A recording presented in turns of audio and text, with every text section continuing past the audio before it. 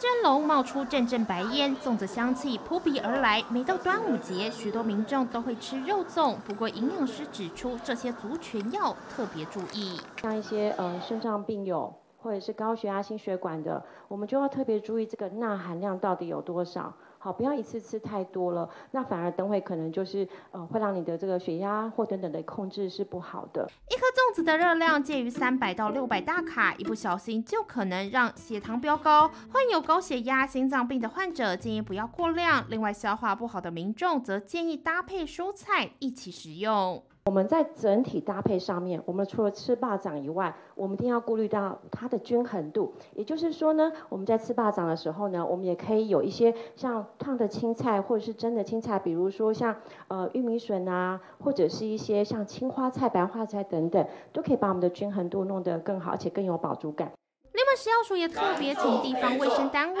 针对制造端及零售端业者做稽查，有查获两家业者。违规储存预期的食品原料或添加物，那都依法处分，各裁罚六万元啊，所以两家总计裁罚十二万，其中有两件啊，这个产品与标示不符，那原因是它含有虾皮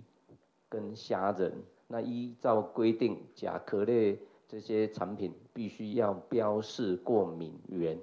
抽查发现有两家业者存放过期原料及两件标示不清，食药署皆依法开罚。另外，若购买虾米、蛋黄、香菇等干货，务必要观察颜色、气味、外观是否正常。若色泽过于鲜艳或有刺鼻的异味，呼吁民众千万不要购买。明新闻陈嘉伦、李泽明台北报道。